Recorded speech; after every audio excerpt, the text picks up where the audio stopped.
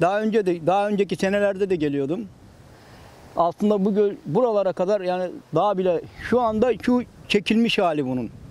Yani gölün ke- kenara çekilmiş, bayağı içeri çekilmiş halidir bu. Yazın tabii bu sıcaklarda kuruduğu için e, göl bayağı içeri çekildi.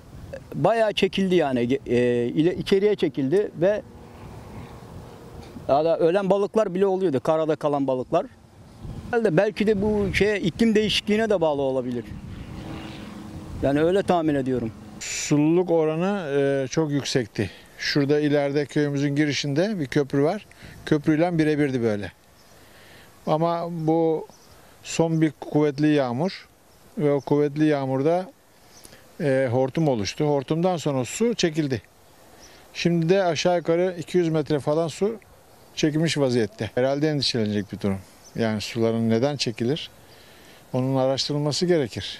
Görünen köy kılavuz istemez. Bu kadar su çekildiğine göre bir şey var demektir bunun arkasında.